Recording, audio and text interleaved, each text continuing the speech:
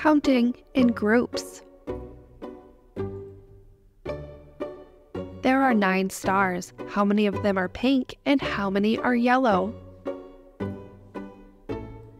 The pink group has six stars, and the yellow group has three. There are 10 circles. How many are in the red group and how many are in the white group?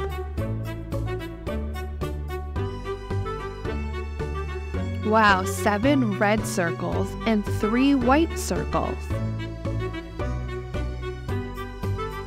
There are eight arrows pointing up. How many of them are yellow and how many are black? Five of them are black and three of them are yellow. There are six triangles. How many are black and how many are green?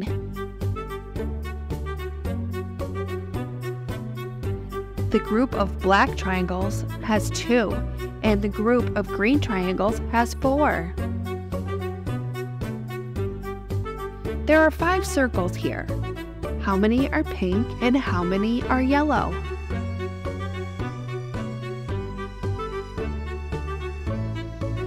There are four pink circles in one group, and there is one yellow circle by itself. Look at these stars. There are nine of them.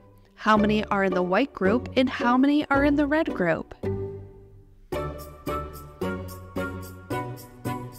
There are two white stars, and there are seven red stars. This is a line of six triangles. How many of them are yellow and how many are green? The group of yellow triangles has five in it, and then there is only one green triangle. These circles are in a circle.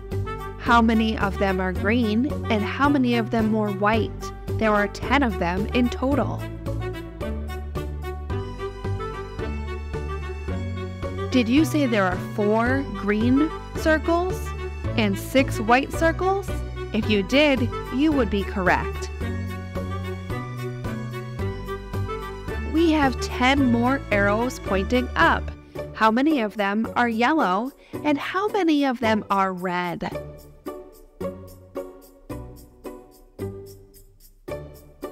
The yellow group has four in it, and the red group has six.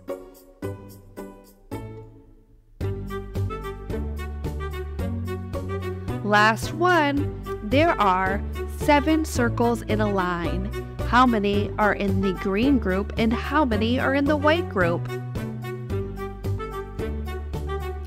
There are four green circles in a group, and there are three white circles in a group. Great job, friends! You've been watching Kiddos Creative. Don't forget to like and subscribe.